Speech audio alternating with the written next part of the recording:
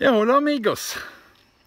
Hvis ikke dette blir den siste videobloggen fra Guadalupe, så skjønner jeg ingenting. For nå har vi vært her i over tre uker. Men det er jo litt av eh, friheten med bobil. Kanskje spesielt friheten med veteranbobil, for da trenger vi ikke føle at vi er noe. Mange drar på ferie med flotte nye bobiler og stresser veldig med det og viser de fram og nyter veldig lite av livet.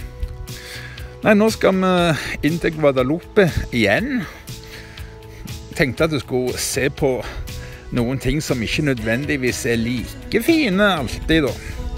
Det er mye fint i Guadalupe, men det er en del ting som ikke er så bra òg, da. Her går vi inn eh, en vei som jeg tror at svært få turister velger inn til byen. Den kommer veldig lågt i forhold til byen. Det er en ganske bratt vei.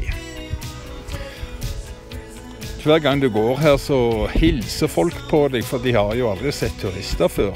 De skjønner jo at vi ikke bor her i byen, for de kjenner jo alle som bor her i byen. Eh, så de skjønner at vi er en slags form for turister. Men så har de jo sett oss i tre uker nå, så de begynner å lure hva all verden vi holder på med.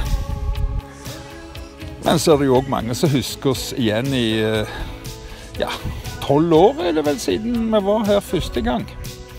Byen er veldig bratt. Hadde det ikke vært for alle disse bakkene, så hadde vi gjerne vurdert å bo her.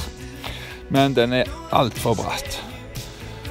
Den ene bakken eh, som tidligere var toveiskjørt, har blitt enveiskjørt. Så vi følger nå skiltet til venstre og ser hvor vi havner. Vi havner jo da opp imot eh, et virkelig flott herskapshus. Ja, på avstand så ser det gjerne sånn ut. Men sannheten er at det er faktisk et saue- og geitefjøs, hele huset, i flere etasjer. Jeg tror geitene her de trives iallfall i dette huset. Bare se på dem. Det ser jo ut som en gjeng med virkelig fornøyde dyr. Men så bor de i hus. Hvor mange geiter gjør det? Altså, dette er geitehuset. Og litt sauer, men først og fremst geiter.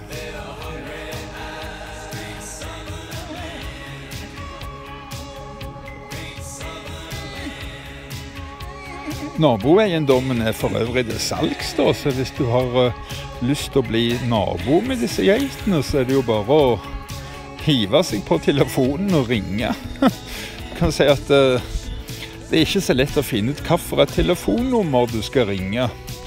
For uh, det har jo for lengst blitt solfalma. Men ring turistkontoret og i Guadalupe og si at du har lyst til å bli nabo til geitene så tror jeg nok at du blir godt hjulpen. Altså Er det noe Guadalupe trenger, så er det folk som vil flytte hertil. For uh, folk flytter jo stadig ut herifra. Det er ikke noe god plass for ungdommen.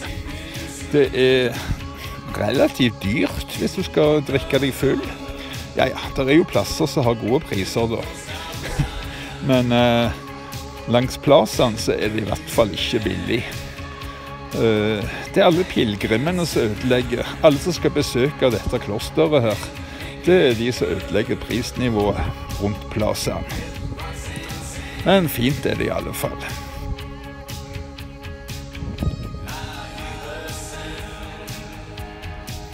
Norge har eh, betalt en parkeringsplass. Svære bussparkeringsplass. Det er sånn EFTA-midler som har blitt brukt til det. Her er han. Så dette er altså et lite stykke norsk eiendom. Og når de da får vite at vi er fra Norge, så er de veldig fornøyde. Å, det er norsk område, dette her. Det er jo en liten ørken, da. En skikkelig betongørken. Ja, huset i midten, det har jeg sagt flere ganger at det er til salgs. Det er ja, både det og det til høyre for huset. Dette huset er òg til salgs. Jeg kan jo bare si at det kan jo bli virkelig bra, altså, for de som har anledning til å legge litt penger ned i det. Oppe i bakken her nå så ser dere noe som skal liksom være en karaokebar. La Notte Karaoke heter den. Men det er en stor skuffelse, for hver eneste gang vi kommer dertil, så har de feil på utstyret, eller det er et eller annet som gjør at de ikke har karaoke allikevel. Jeg sang karaoke her en gang for eh, fem-seks år siden. Vi har jo vært i Guadalupe hvert eneste år, og har da rett og slett aldri klart å gjenta det. For det er alltid et eller annet feil hos de. Så Guadalupe trenger en bedre karaokebar. Kanskje vi kunne åpne en midt i klosteret her. Så kunne det òg blitt brukt til noe fornuftig.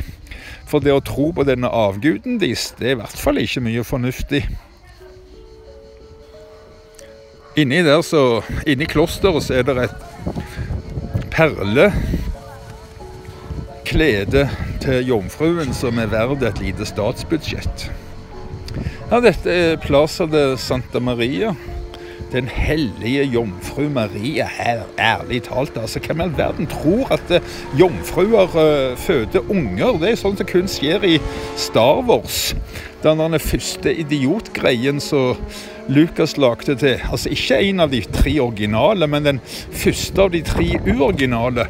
Der er det jomfrufødsel. Det er så idiotisk. Ja, i dag så var det bryllup i uh, kirka. Altså, hvorfor ikke heller gå på tinghuset? Ærlig talt. Nei. Jeg har ingen respekt for overtro og ingen respekt for den katolske kirken. Den er jo faktisk enda verre enn den norske statskirken, for å si det sånn. Men her er bruden på vei opp trappen. Jeg håper at de får et lykkelig liv, men sjansen for skilsmisse innen fem år er vel overhengende stor fare for det, da. Det er dyrt på plassene her. Men du skal ikke så veldig langt av gårde for å få lavere priser. Så her er plassene, og her oppe i gaten er det veldig varierende priser, faktisk.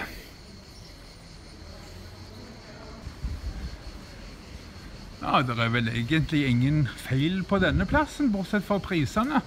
Her koster en tubo to euro. Tvers over gaten på Lohoran.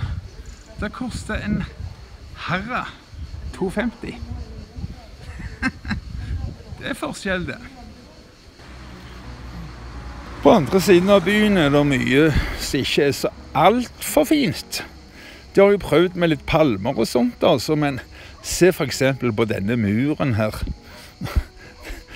Hvorfor lar de det se sånn ut? Hvorfor kan de ikke prøve å få det til å se litt mer OK ut? Altså, Guadalupe er en veldig OK by. Hadde det ikke vært det, så hadde de ikke dratt her hvert eneste år i tolv år. Men sånn som dette, altså Det trengs noen rikinger fra Norge til å komme og bruke noe penger her og få pust dette her opp. Rett og slett, altså. Noen som liker fjelliv og jakt. Ja, her er det mye jakt. Dette er et nybygg som har gått konkurs. De pleier jo å se ganske ille ut, men her må jeg jo berømme det. De får i hvert fall ha lagt på murpuss på fasaden før uh, prosjektet gikk konk. Altså, det får det til å se så mye bedre ut. Mens nabobyggene de er mange, mange år eldre og har ikke murpuss på fasadene. Og det er rett og slett ikke noe særlig bra. Altså, det ser stygt ut. Kort og godt, det ser stygt ut. Men Spania har jo økonomisk, økonomisk krise, da.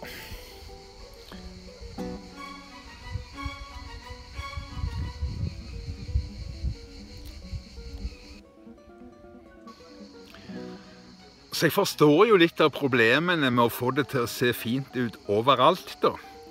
Med så mye penger i manko på budsjettene. Ja, ja. Ikke la disse bildene her eh, skremme dere for å komme til Guadalupe, for her er det fantastisk flott natur. Jeg garanterer at eh, dere vil like dere her. Som sagt, vi har vært her hvert eneste år i tolv år. Og hvis dere tror at uh, dette var tatt opp i uh, kronologisk rekkefølge, så må du bare rett og slett ta det som en uh, ledetråd i livet. Se litt hvordan NRK redigerer og manipulerer. For det var ikke i uh, vilkårlig rekkefølge, eller i uh, kronologisk rekkefølge. Det var vel stort sett helt motsatt av den rekkefølgen bildene ble tatt i. Og kommer du inn på et nytt tema. Altså, det har jo blitt en sånn ny eh, sånn greie å direktesende på Facebook. En sånn intetsigende videoer. Ta heller opp videoene, rediger de, legg på litt tekster, på litt kommentarer. Ikke sånne singleshot direktevideoer. Det har rett og slett ingen særlig verdi for ettertiden. Men redigerte videoer som jeg lager her, det mener jeg det har litt verdi. Og det er det i hvert fall én som er enig i. For for første gang i mitt liv var det en på Twitter som lurte på om jeg ikke skulle endelig lage en ny video. en ny videoblogg. Veldig kjekt. Veldig uvanlig. Nei, dere får ha det bra. I morgen så drar vi videre til Placencia, garantert. Nesten garantert. Ha en riktig fin lørdagskveld.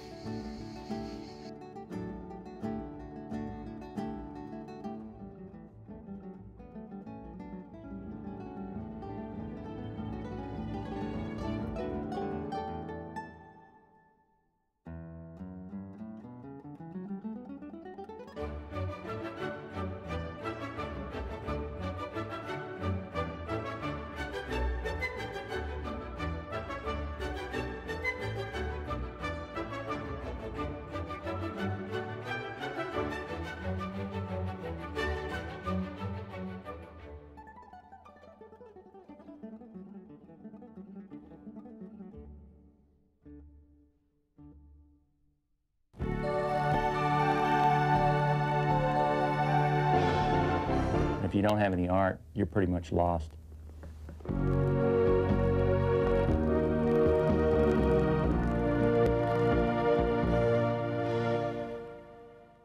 He's a real nowhere man, sitting in.